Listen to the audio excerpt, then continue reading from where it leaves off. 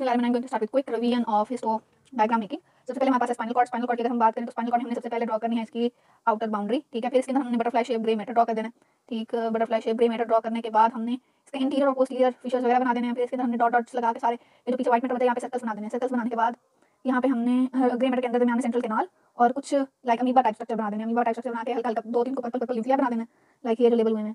और बस बाकी पिंक शेड मार देना ब्लड वेसल्स बना देनी है हमारे पास ये स्पाइनल कॉर्ड डायग्राम बन जाएगी और फिर इसको हमने कर देना label like posterior grey horn ये हमारे पास है एक्सॉन्स ये हमारे पास सेंट्रल केनाल ये हमारे पास इंटीरियर हॉर्न ये हमारे पास इंटीरियर मीडियम फिशर और हमारे पास पोस्टीरियर मीडियम सर्कल्स ये हमारे पास ड्यूरा मैटर अंदर वाला है हमारे पास पाया मैटर ये अंदर ब्लड वेसल्स ये हमारे पास न्यूक्लियाई और उनके साथ ही हमारे पास एक्सॉन हिलॉक इस तरह से हमारे पास स्पाइनल कॉर्ड बनेगी इसके बाद हमारे पास सेरिबेलम सेरिबेलम की अगर हम बात करें तो इसमें हमने ये बना देना सबसे पहले फिंगर लाइक प्रोजेक्शंस उसके बाद हमने इसके अंदर एक और लाइन ऐसी ही ड्रॉ करनी है जो इसको साथ ही लाइन करे फिर उसके बाद हमने ग्रैन्यूल्स बना देने हैं।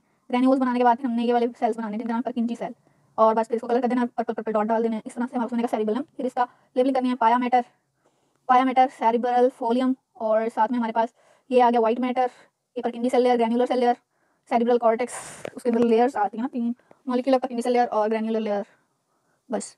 इसके बाद हमारे पास आते सेरिब्रल कॉर्टेक्स सेरिब्रल कॉर्टेक्स हमने छह लेयर सबसे पहले हमारे पास आनी है व्हाइट मैटर की लेयर फिर आनी है bundle of axons bundle of axons में हमने लंबे लंबे लंबे सेल्स बना के साथ में थोड़े से पायरामिड पायरामिडल सेल्स डालने हैं पायरामिडल सेल्स हमारे पास ये वाले हैं। फिर हमारे पास internal pyramidal layer internal granular layer internal external pyramidal external granular और मॉलिक्यूलर लेयर मॉलिक्यूलर लेयर के अंदर हमने इस तरह से फाइबर बनाने हॉरिजॉन्टल फाइबर बनाने ज़्यादा।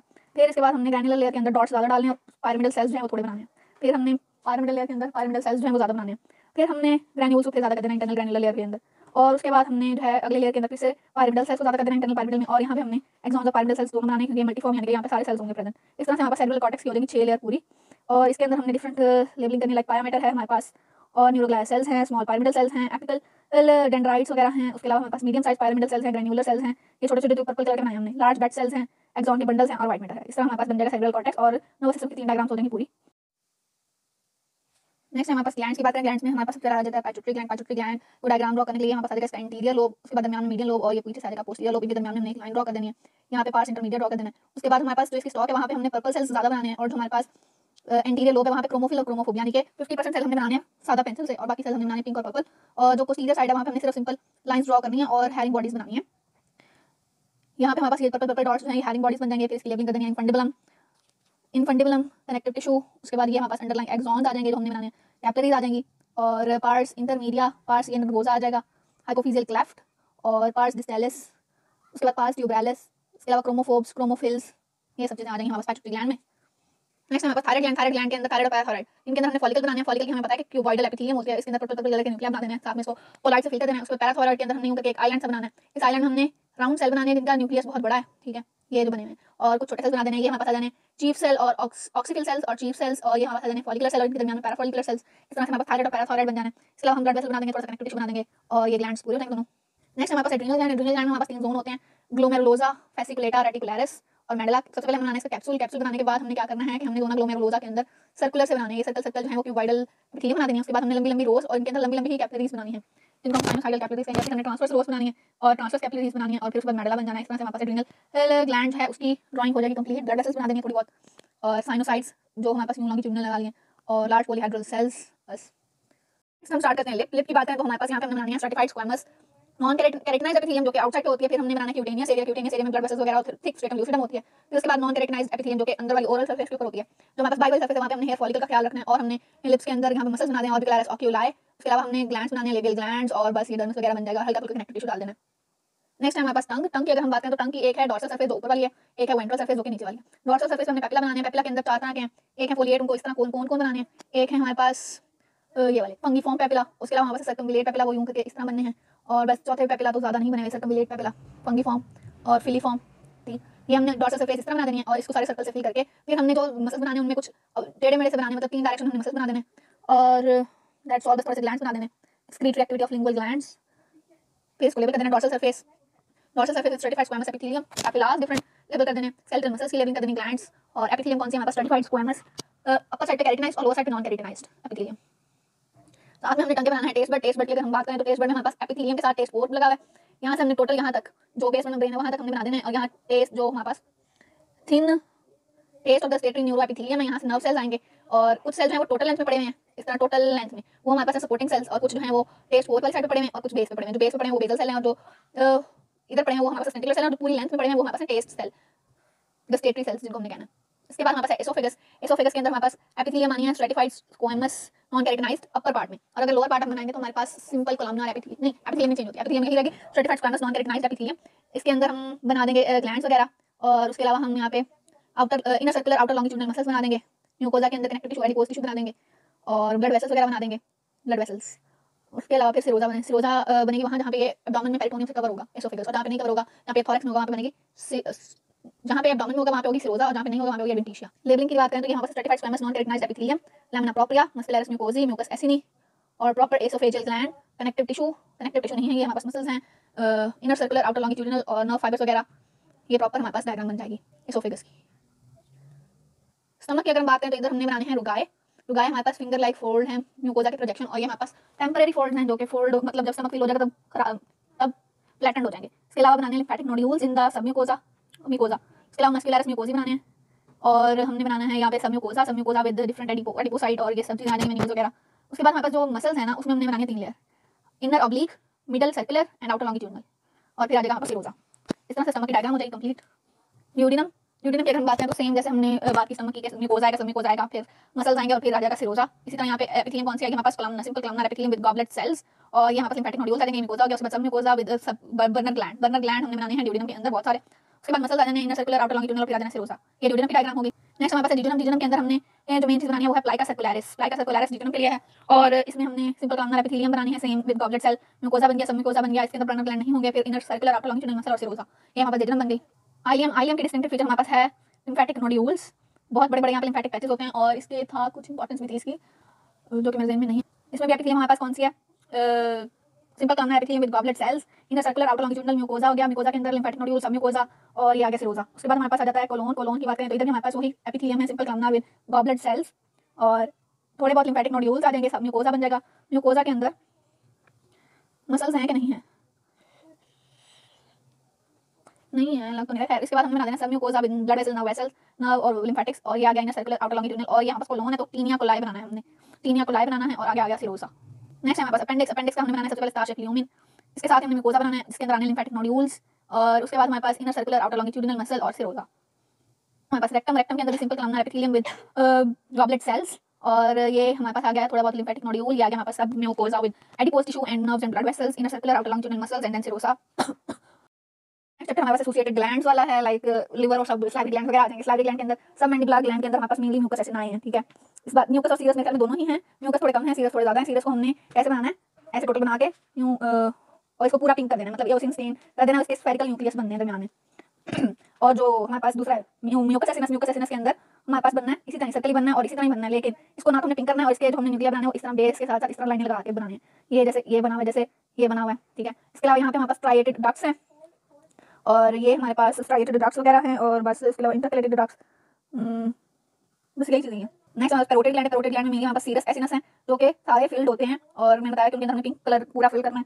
और इस ग्लैंड के अंदर एडिकोसाइड बहुत ज़्यादा बनाना है। उसके अलावा इंटरकलेटेड ड्रग्स आएँगी और स्ट्राइटेड ड्रग्स आएँगी। स्ट्राइटेड ड्रग्स एपिथेलियम के साथ हैं।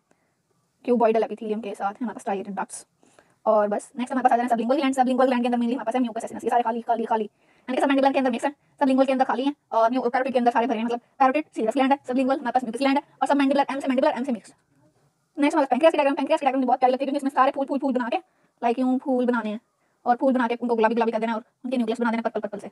और बस यही है और जहाँ पे आइलेट्स बनाने हैं, वहाँ पे दायरे दायरे दायरे बना के और उनको फिल कर देना इस तरह हमारे पास आइलेट्स भी बन जाएँगे। बाकी सारे तो फूल ही हैं।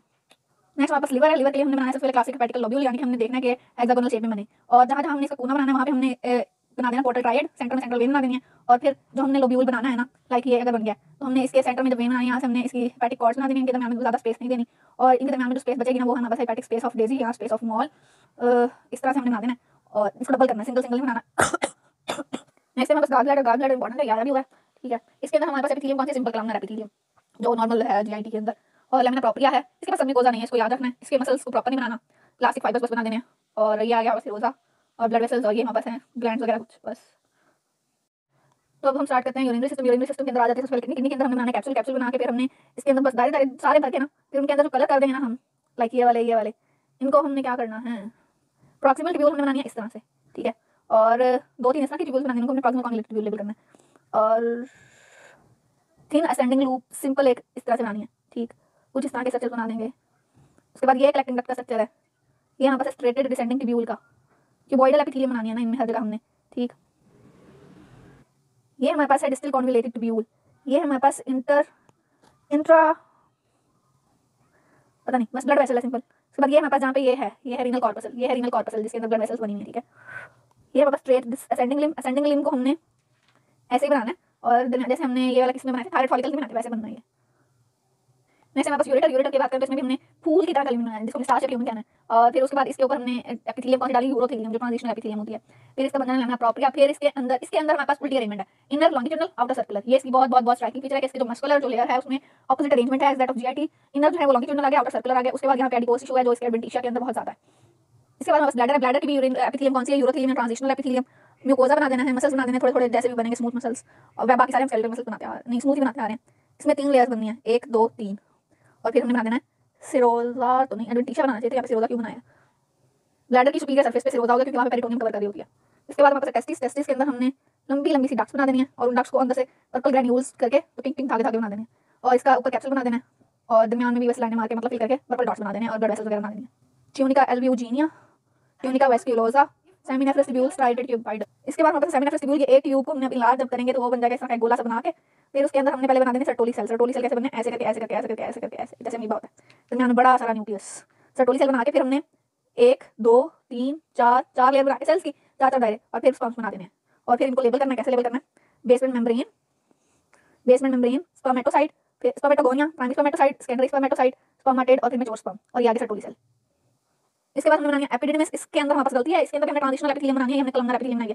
ट्रांजिशनल एपिथेलियम कैसे बननी है कि उसके जो हमारे पास लाइक ये अगर हम बनाया ना तो उसमें हमने सारे सेल्स जो हैं वो एंड तक नहीं लेके जाने कुछ सेल को दरमियान में भी रोकना है। ऐसे। ताकि उससे न्यूक्लियर डिफरेंट में ट्रांजिशनल एपिथेलियम बनेगी। और बस नाउस वगैरह बना देनी है। इस तरह एपिडिडमिस बन जाएगी। डक्टस डेफरेंस का भी हमने फ्लावर शेप यूवी बना देनी है स्टार शेप का हुआ उसके बाद सबम्यूकोजा इसमें तीन लेयर्स बनानी है हमने मसल्स की।